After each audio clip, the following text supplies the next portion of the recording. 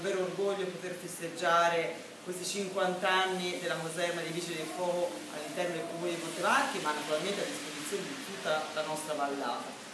Non è una cosa da poco, non è scontato poter avere una caserma di Vigili del Fuoco proprio sul territorio, perché capite bene che eh, gli interventi che loro fanno, eh, che si basano proprio sulla tempestività, eh, ci permettono quindi di dare un servizio in caso di emergenza eh, massimo, cosa che non sarebbe stata possibile se non ci fosse stata questa caserma negli ultimi 50 anni e se i vigili del fuoco fossero dovuti arrivare da Arezzo o da altre parti. Quindi questa è stata una garanzia e continuerà ad essere, mi auguro per sempre, non solo per la nostra città ma per Val d'Arno intero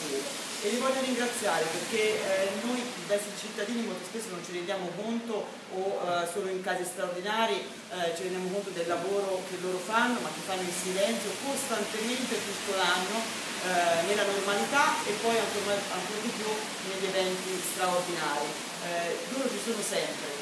silenzio, con una professionalità, con un impegno e anche con un rischio per la propria vita eh, molto alto, eh, ma, non, eh, ma non, fa, non, non, mancano mai. E questo per noi è stata una garanzia degli ultimi 50 anni e lo sarà anche per i prossimi 50. Avremmo tutti preferito fare una festa e dare, eh, condividerla con tutti i cittadini, con tutte le ballate, eh, l'importanza appunto di, una, di un presidio sul nostro territorio. Emergenziale legata al Covid non lo permette, però ci sembrava giusto, anche se in maniera diciamo, eh, più ristretta, celebrare questa data proprio perché voglio che i nostri cittadini sappiano che è un'occasione un importante per il nostro territorio poterli avere li ringrazio tutti. Vi ringrazio perché il senso di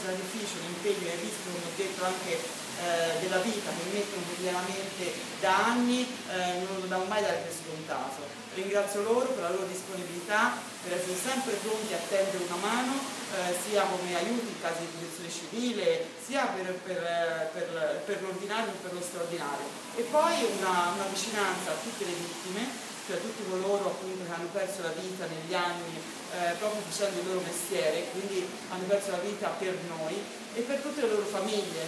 perché le loro famiglie sanno che hanno eh, a che fare con,